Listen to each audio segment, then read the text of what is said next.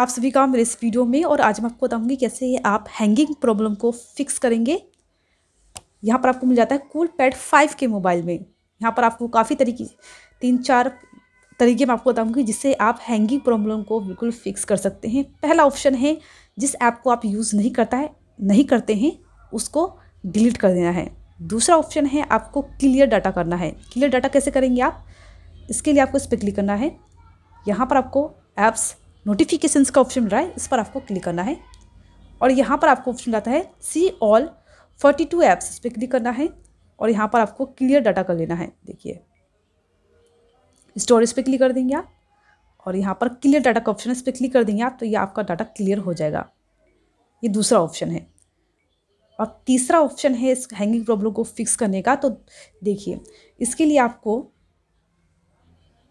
Photo का option इस पर क्लिक करना है। यहाँ पर आपको फ़ोटो पे क्लिक करना है। यहाँ से जितनी फ़ोटो है जिसे आप यूज़ नहीं कर सकते, पुराना कोई फ़ोटो है आपका, उसको डिलीट मारना है। काफ़ी फ़ोटो होता है जिसे डिलीट मारना होता है, यहाँ से डिलीट कर देना है।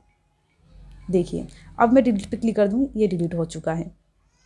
अब यहाँ से फ़ोटो तो डिलीट हो चुका है तो हमें लगता है कि जो फ़ोटो है वो हट चुका पर फ़ोटो रहता है, जो कि हैंगिंग प्रॉब्लम आते रहते हैं फ़ोटो की वजह से। तो इसके लिए आपको बिल्कुल हटा देना है मोबाइल में से बिल्कुल तो इसको क्लिक करना है एल्बम पर।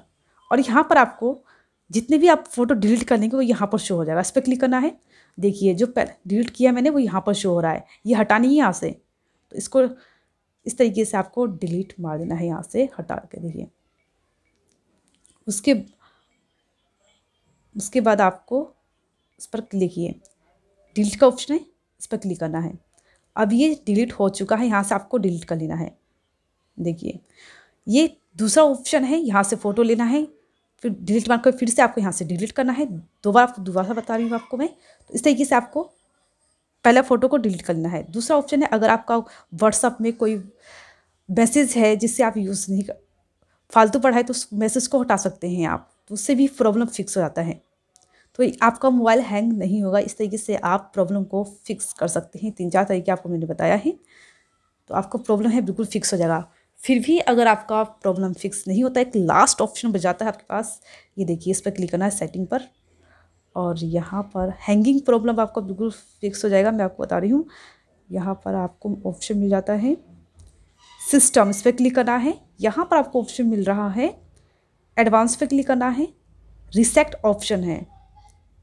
और यहाँ पर आपको ऑप्शन मिल जाता है रिसेक्ट इस पर क्लिक करना है रिसेक्ट पर। तो यहाँ पर रिसेक्ट यहाँ इरेज फैक्ट्री रिसेट का भी ऑप्शन मिल रहा है। यहाँ से आप फैक्ट्री रिसेट कर सकते हैं। इससे भी आपका प्रॉब्लम है फिक्स हो जाएगा। ये लास्ट ऑप्शन बच जाता है।